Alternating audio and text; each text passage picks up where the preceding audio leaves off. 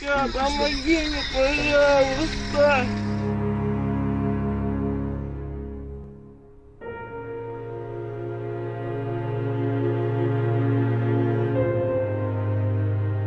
Это синтетический заменитель конопли. Гораздо опаснее, чем марихуана, однако совершенно легальный. Наркозависимые называют его спайсом – смесь для курения. Алексей познакомился с этим наркотиком еще в 2009 году. Тогда он не думал, что новое, совсем легальное вещество сломает его жизнь. Общение с людьми, э, родители, родственники закрывается, хочется быть, пребывать только в себе, в своих чувствах, в своих эмоциях. Э, Семья, дети, никто мне был не нужен, кроме наркотика. Первый раз он понял, что пришло время бросать опасный дурман, когда попал из-за него в аварию. Тогда Алексей едва выжил. Прошло время, и он снова стал употреблять смесь для курения. Купить дурман Алексею было просто в интернете и даже в киосках.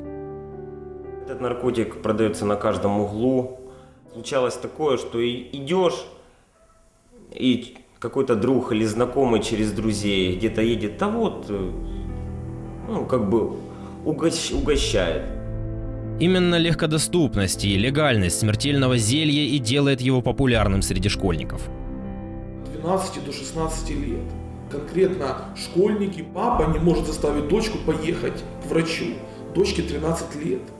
По всем внешним характеристикам она употребляет спайс. Центре нам рассказали шокирующую статистику. Сегодня главные потребители легального яда именно дети. Оказывается, любой несовершеннолетний может легко купить наркотик. Не верите? Проводим эксперимент. Вводим в поиске «Купить Спайс Киев», открываем первый же сайт и видим электронный ящик. Далее пишем письмо наркоторговцу. Мы намеренно написали от имени школьника, указав, что хотим принять наркотик после школы. Ответ приходит через полчаса. Торговец смертью охотно пошел на контакт и согласился продать нам наркотики. На месте нашего журналиста может быть ваш сын или дочь. Торговцы смесями для курения продадут ребенку яд без колебаний. Ведь закон не запрещает им это делать. Наркотики продаются открыто уже более пяти лет подряд. Проблема в нашем законодательстве. Когда в список запрещенных веществ вносят вещество А, производитель немного изменяет ее формулу и выпускает вещество Б, которое по закону уже полностью легально. В Европе эту проблему решили быстро. Все вещества, чьи формулы похожи, уже априори запрещены. Впрочем, неизвестно, сколько еще должно сломаться человеческих жизней, пока у нас также запретят опасные зелья. Одни говорят, надо требовать у государства, чтобы так называемые легальные курительные смеси, которые по факту являются наркотиками, стали наркотиками и юридически. Размышления других отличаются. Они не готовы ждать, пока будут изменения законодательства. Одесская молодежь вышла на улицы крушить киоски с наркотиками. По мнению молодых людей, если за пять лет государство не запретило опасное зелье, то оно этого не сделает и в будущем. Эти люди борются с наркотиками, но и сами становятся по другую сторону закона. Чтобы э, конкретно и, как бы, как сказать, срубить проблему под корень, нужно полностью запретить. Я лично за правомерный ход любых событий.